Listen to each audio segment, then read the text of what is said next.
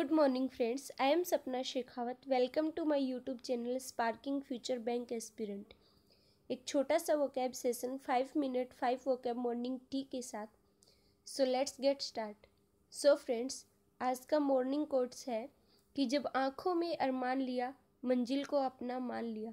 जब आँखों में अरमान लिया, मंजिल को अपना मान लिया, है मुश्किल क्या, आसान क्या? जब ठान लिया तो ठान लिया। सो so फ्रेंड्स अगर आपने अपनी मंजिल को तय कर लिया है, आपने अपना एम बना लिया है तो उस तक पहुँचने के लिए आपके रास्ते में मुश्किलें भी आएँगी और आसान भी होगी। अगर आपने ठान लिया कि आपको अपनी मंजिल तक पहुँचना है तो कुछ भी मुश्किल नहीं है और कुछ भी आसान नहीं है। सो so फ्रेंड्स वहाँ तक पहुँचने के लिए आपको हार्डवर्क करना पड़ेगा, हर मुश्किल का सामना करना पड़ेगा और आप अपनी मंजिल को पालोगे। और आई होप आप सबकी दीपावली बहुत अच्छी गई होगी और अब दीपावली से आपको एक अपना अच्छा सा टाइम टेबल बनाना है और उसके साथ पढ़ना है।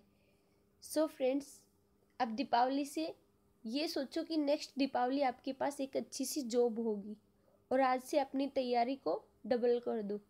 सो फ्रेंड्स चलिए आज की हमारी फ़र्स्ट वोकैब है रेजोल्यूट रेजोल्यूट एक वर्ब है, जिसका मतलब होता है अटल या फिर सुनिश्चित means having or showing great determination means that कि आपने कुछ करने का सोच लिया है कि ये मुझे करना ही है, किसी एग्ज़ाम को लेकर या फिर अपने लक्ष्य को लेकर तो वो अपने पूरे डिटर्मिनेशन के साथ करो, ठीक है? सिनोनिम्स होता है बोल्ड स्ट्रोंग और सीरियस और कॉन्स्टेंट और एंटोनिम्स होगा अफ्रेड सॉफ्ट एग्रीबल और कोऑपरेटिव सो फ्रेंड्स आज की हमारी सेकंड वोकैब है अक्विजेशन अक्विजेशन एक नाउन है, जिसका मतलब होता है प्राप्ति या फिर लाभ। Means something acquired means that की प्राप्त की गई वस्तु या फिर कोई खरीदी गई वस्तु, जिसको हम हासिल कर सकें। मीन्स ग्रहण कर सके उस चीज़ को, या फिर कोई ऐसी भी चीज़ जो आप, अपन ने खरीदी और उसमें आपको प्रॉफिट हुआ हो, उसको बोलते हैं एक्विजेशन सिनोनिम्स होगा एडिशन गेन परचेज रिकवरी और एंटोनिम होगा लॉस फेलियर डेब्ट और डेथ ये डेथ नहीं है फ्रेंड्स ये ड्रेथ है. ये मिसप्रिंट हो गया. सो so फ्रेंड्स आज की हमारी थर्ड वोकैब है रेट्रोस्पेक्टिव रेट्रोस्पेक्टिव एक एडजेक्टिव है, जिसका मतलब होता है पूर्व प्रभावी concern with or related to the past means that कि कोई पास्ट से रिलेटेड जिसका मतलब होता है कि दोबारा अपने पास्ट में देखना looking again at the past जैसे आपने अभी कुछ किया है और आपने दो साल पहले भी कुछ किया था, उन दोनों चीज़ों का कंपेरिजन करना, उसको बोलते हैं रेस्ट्रोस्पेक्टिव पूर्व प्रभावी सिनोनिम्स होता है रिव्यू रिफ्लेक्टिव रिवीजन रिट्रोएक्टिव और कलेक्टिव सो फ्रेंड्स आज की हमारी फोर्थ वोकैब है ओस्टेंसिबली ओस्टेंसिबली एक एडवर्ब है जिसका मतलब होता है प्रकट रूप या फिर देखने में from appearances alone means that कि किसी चीज़ को जैसे कि सपोज़ दैट कि आपने कुछ चीज़ को सोचा थिंक किया कि ये चीज़ ऐसे हो जाती और अचानक से सडनली वो आपकी लाइफ में हो जाती है।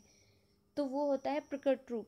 सिनोनिम्स ऑफिशियली स्पोजली एविडेंटली और एंटोनिम्स होगा इम्प्रोबेबली अनलाइकली और ऑब्सक्योरली अब आपने एक चीज़ नोटिस की कि यहाँ पे ये ये जो वोकैब थी एडवर्ब थी और इसकी सिनोनिम्स और एंटोनिम्स भी इसके एडवर्ब ही हैं। सो so फ्रेंड्स आज की हमारी, अगर ऐसा कभी भी कोई वोकेब आ जाता है जिसके पीछे जिसके पीछे एल वाई लगा हो, वो एडवर्ब होता है। और आप ये देख लेना, जब भी चार ऑप्शन मिलेंगे आप और जिस भी ऑप्शन में अगर आपको कभी ऐसा मिल जाए कि जिसके पीछे एडवर्ब लगी हो मीन्स एल वाई तो वही उसका एंटोनिम या सिनोनिम्स होगा। ये भी एक शॉर्ट ट्रिक की है।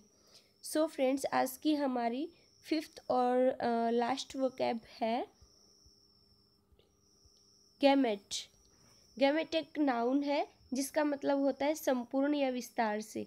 एक कम a complete extent a complete extent or range means that कि संपूर्ण विस्तार से, यानी कि पूरी सीमा से। मतलब किसी चीज़ को पूरी पूरी तरीके से एक्सप्लेन करना। सिनोनिम्स होता है spectrum area scale sweep field और वेराइटी सो फ्रेंड्स आज का वो सेशन अगर आपको अच्छा लगा हो तो चैनल को सब्सक्राइब कीजिए लाइक कीजिए शेयर कीजिए।